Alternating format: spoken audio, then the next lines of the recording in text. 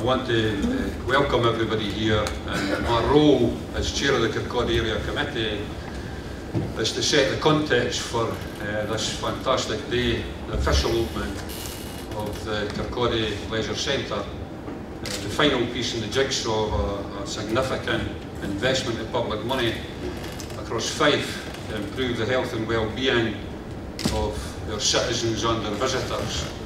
Uh, opened up with the Carnegie Centre, then we've got the Michael Wood Centre, and now for the Kirkcaldy people, the dream comes true, we've got the Kirkcaldy Leisure Centre. And I want to mention a few names, um, the people who have been involved in this, because although you know, I chair the Kirkcaldy Area Committee right now, uh, there was a significant number of councillors in the last administration who uh, were significantly influential in this outcome. Uh, I want to mention Alice Soper, who chaired the Kirkcaldy Area Committee last time round. Uh, the late George Leslie, a great friend who died uh, unfortunately before the place was able to open, so he couldn't see his dream come true. David Torrance, who's here, is currently the member of the Scottish Parliament for Kirkcaldy, uh, was a member of our committee. Ron Edwards and uh, Brian Goodall, who chaired the, the, the committee. Uh, all of these people uh, may not be on the area committee just now, but they did play a significant role in bringing the whole thing to fruition. Very much a partnership approach to things. To set the context of this, um, I'm, I'm, speaking on behalf of the members of the Kirkcaldy Area Committee, um, and it's about a sense of place. Uh, and the immense pride that I've personally got in, in standing, being able to stand here and represent our councillors and the people that we represent in Kirkcaldy area. We're only 100 yards for the sandy shores of the Firth of Forth. And I want to give you a sense of place about where we're actually at. Uh, there was a, a man called Adam Smith that walked these shores and walked around this town for 10 years, thinking and jotting down notes to create some of the greatest works that uh, Er, er, er our, our, current people who have got the greatest brains and greatest thinkers on this planet still refer to as the work that shapes it all. So right here, right now, was probably the beach potentially at that time.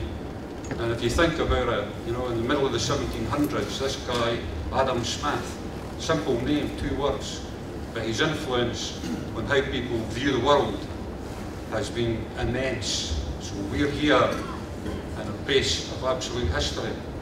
And it's something that the Kirkcaldy Ambitions Group, who were formed to represent the town and take forward the whole town centre agenda on the back input for people locally.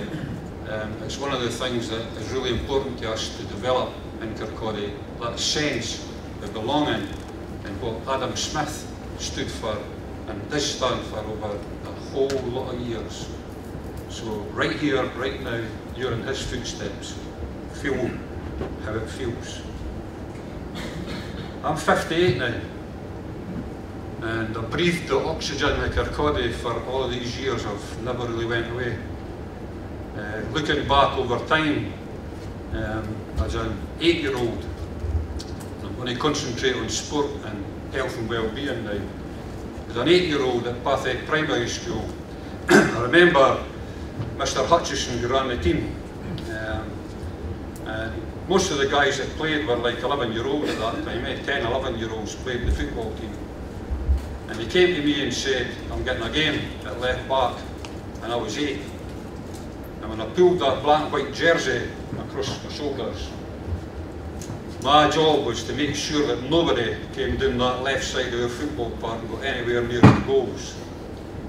Eh, and I had a determination and a fierce sort of need for achievement on that football pitch because nobody had ever done something like that before for me and said, I'm giving you a chance here.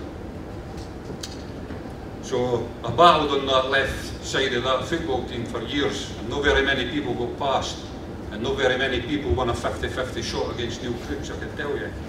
I had determination and pride in what I was trying to do. I also like swimming, but in Kirkcaldy in the 60s, you had to go to Burntisland Pool for the local mayor swim. Sometimes you had to clear the leaves, the sweetie packets, the flies away to get into the water. But yeah, we were along there for a swim and we dived in. We also went to Perth for a swim because that was one of the next closest ones. And for people that are here for Dunfermline, yeah, we also went on a Tuesday night and a Thursday night to Dunfermline Baths for a hot swim because it was hot water, not like the Forth. And as a nine-year-old, I got a badge for Kirkcaldy Amateur Swimming Club, and I wore it on my trunks for years because I'd swum in Kirkcaldy Harbour, dived in, went to the poles and back, and that was the recognition you got, a badge that said K-A-S-C, and you wore it proudly.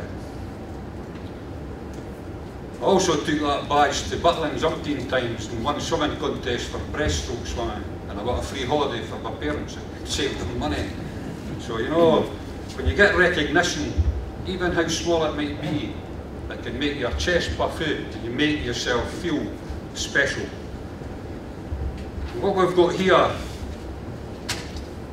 now for our young people is an incredible opportunity.